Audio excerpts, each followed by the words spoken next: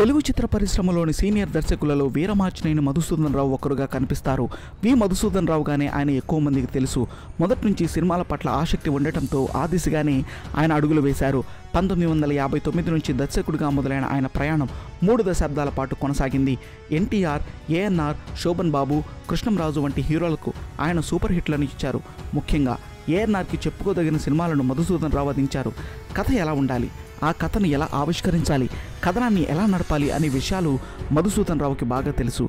అన్ని వర్గాల ప్రేక్షకులకు నచ్చే అంశాలు కథలో ఉండేలా చూసుకుని ఆయన సెట్స్ పైకి వెళ్ళేవారు. కథపై ఎక్కడ ఎలాంటి సందేహం ఉన్నా ఆయన సెట్స్ పైకి వెళ్ళేవారు కాదు. అలాగే పాత్రల స్వరూప స్వభావాలు దెబ్బతినకుండా చూసుకునేవారు. సన్నివేశాలను సహజత్వానికి దగ్గరగా ఆవిష్కరించేవారు. అందువలన పాత్రలు తెరపై కాకుండా కళ్ళ ముందు కదలాడుతున్నట్లుగా ప్రేక్షకులకు అనిపించేది. అప్పటి వరకు తెరపై సాగిన కథల నడకను ఆయన ఒక్కసారిగా మార్చేశారు. కొత్తదనాన్ని పరుగులు తీయించారు.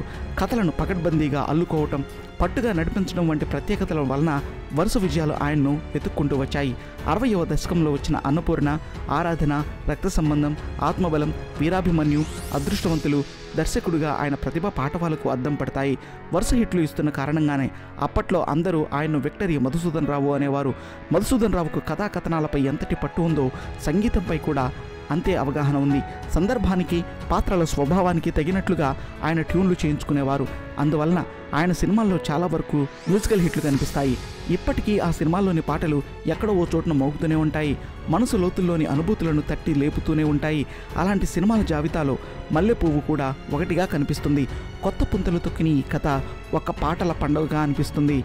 మధుసూదన్ రావు భక్తి చిత్రాలను తెరకెక్కించడంలోనూ తన సత్తాను చాటుకున్నారు. ఆయన రూపొందించిన భక్త తుకారం చక్రధారి నేటికి భక్తిభావ పరిమళాలను వెదజల్లుతూనే ఉన్నాయి.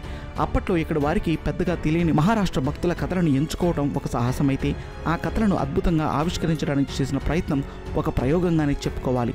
ఆ సినిమాలు అనూహ్యమైన విజయాలను అందుకోవడం ఆయన గొప్పతనంగానే ఒప్పుకోవాలి ఇప్పటికీ ఈ రెండు సినిమాలు పాటల పరంగా కూడా చెప్పుకోదగిన స్థాయిలో నిలవటం విశేషం. ఇక హీరోగా విక్రమ్ సినిమా ద్వారా నాగార్జునను సింహస్వప్నం సినిమా ద్వారా జగపతి బాబును పరిచయం చేసింది ఆయనే. నాయక ప్రధానమైన కథలను ఆవిష్కరించడంలోనూ తనకి తిరిగిలేదని మధుసూదన్ రావు నిరూపించుకున్నారు.